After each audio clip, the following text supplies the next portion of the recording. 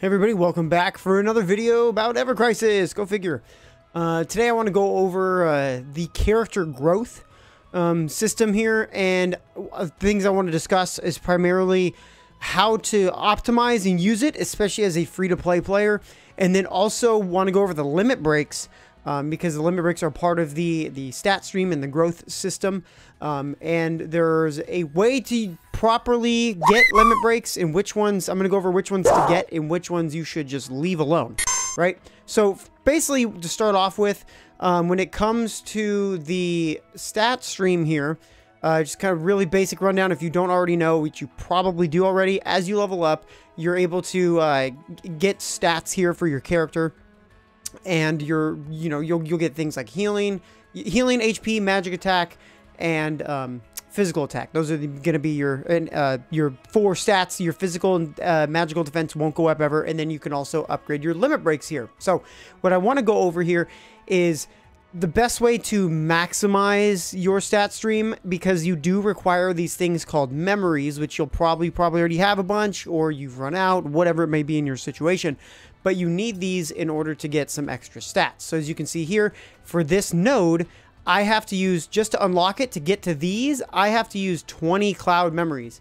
So because Cloud is a physical attack unit, primarily he really doesn't have anything magic based, so you don't want to focus on him doing magic.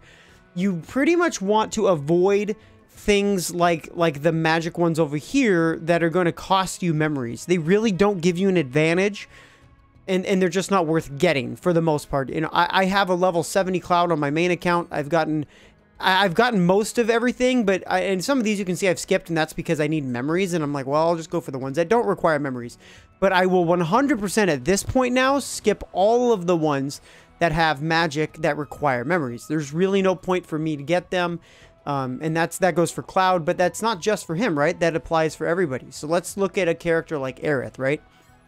Aerith is a character who primarily excels at magic and healing.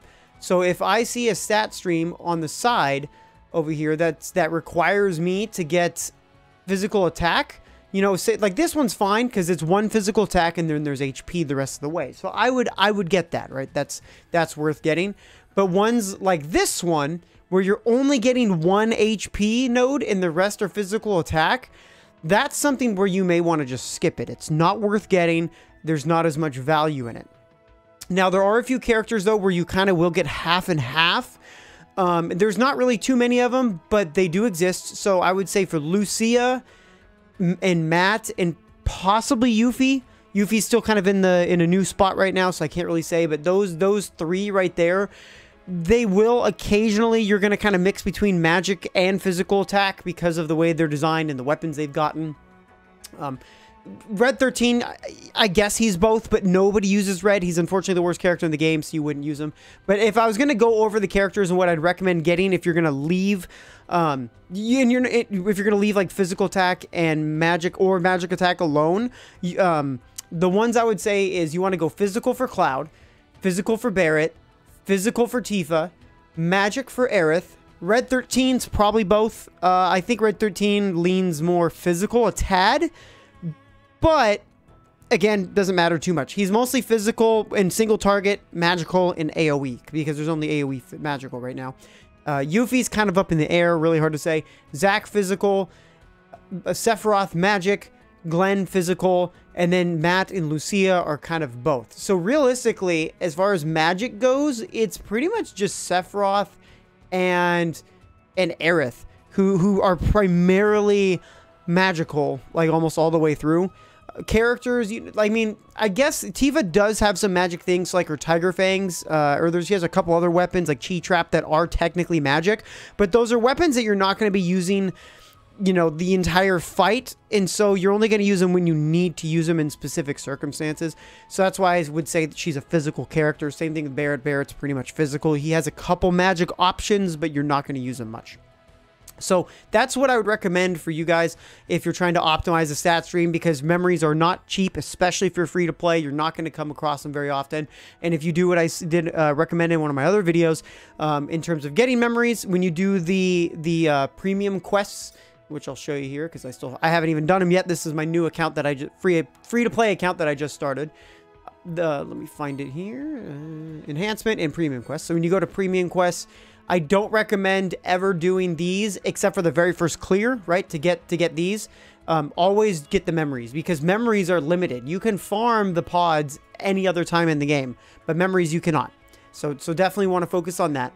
Now, I want to go over the limit breaks, and I want to go over it for each character. Each character right now in the game has two limit breaks, and in order to unlock the limit breaks, I'll show you, you do have to do specific things. So, for instance, you get Seal Evil with Aerith, and in order to unlock Seal Evil, you have to use consume 300 stamina with Aerith in the party, use Aerith's limit break 10 times, deliver Aerith memories times 10, uh, deliver 1,000, 10,000 gil, and deliver 30 units of low-grade Electrum. Now, later on, these 10,000 gil and 30 unit low grade Electrum, those are, you'll have thousands of millions of it, really. So you really don't need to worry about that. Uh, Aerith memories, though, those are always going to, memories are generally always going to be in short supply. However, here's the thing. Seal Evil and many other limit breaks, especially AoE ones, are not good. As far as right now, they're not good. And the reason why they're generally not good is for two reasons. One, we really have not had any big enemies where there's or boss fights where there's more than one that you want to have a, a non-elemental move to attack all enemies. So that's number one. Number two is the the summons that you get generally are going to be stronger than than your regular limit breaks that are not elemental. And the reason why is because a lot of your weapons that you're going to have either in your sub slot or in your your equip hand they're going to be a matching element and they'll get a damage boost that the limit breaks won't get. So again, that's just going to be an increase in damage and the highest damaging summon moves anyway are AoE. So it pretty much completely makes these AoE moves just not worth getting. And so if you unlock these, you're wasting mem you're wasting memory here. And then when you come up further and you have, you know, Seal Evil here, again, you're just, you're wasting memories that you don't need to use. So I'll go over the ones here that I would recommend getting, starting with Cloud.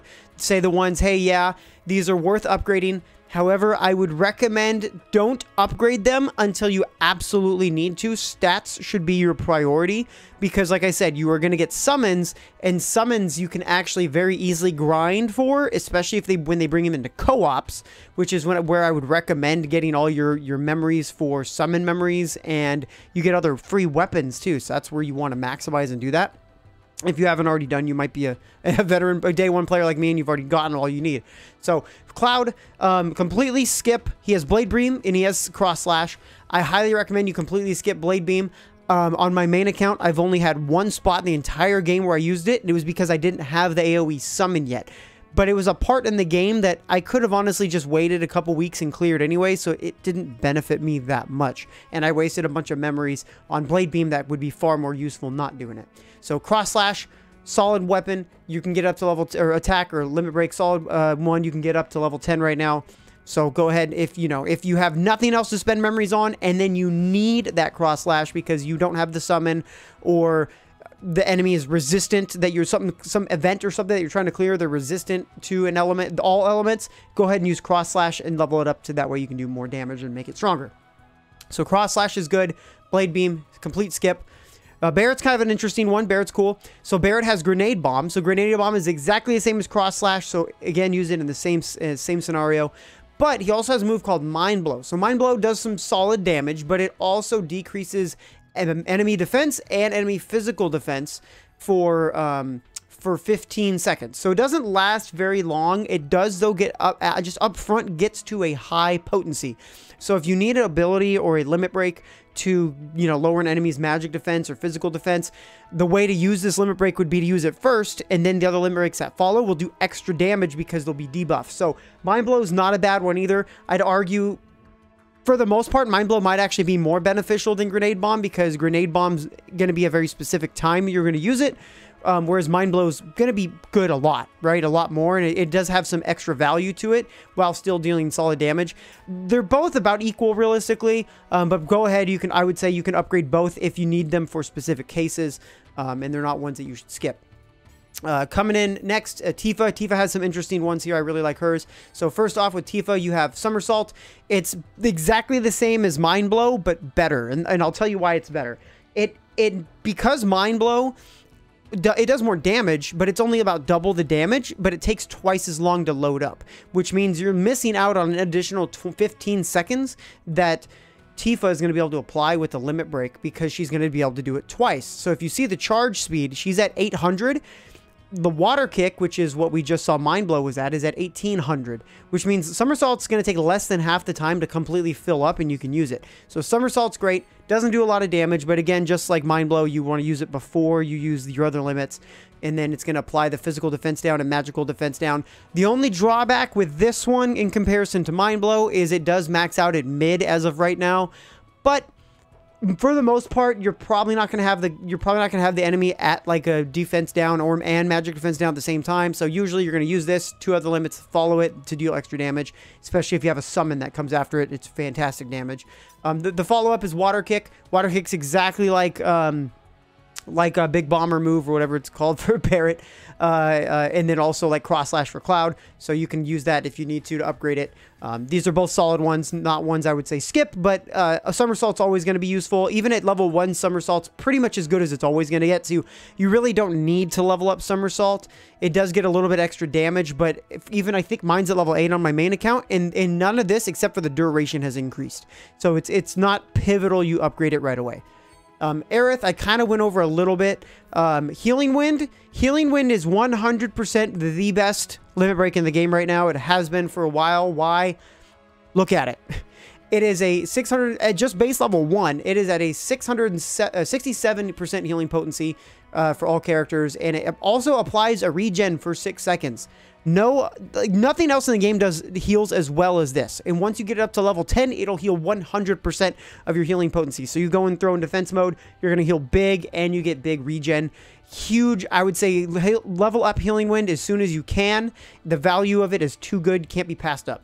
Seal evil, garbage. It is is just like is just like Cloud's blade uh, blade beam. It, it's not worth getting. I wouldn't waste the time on it. I do have it unlocked. Don't get it. It's not worth doing. Uh, so next we're going to move on to Red 13. Red 13 is kind of interesting one. You'll probably never use most, most of these, to be honest. Uh, Sled Fang's okay. It's nice. It does lower enemy defense, or physical attack and magic attack, I mean, but usually you're trying to do more damage and not less, and not just less than the amount of damage they do. Um, so usually, you know, Tifa's going to be better, but Red 13 is just the lowest tier character right now, so this you know, you're really, you really with Red 13, you can kind of do whatever you want if you just want to enjoy him. it's, it, it's a really hard to say with him. Uh, Lunatic High is this other one here. It does heal, uh, grants a, a, magic heal for 4%. Why? I, I don't know.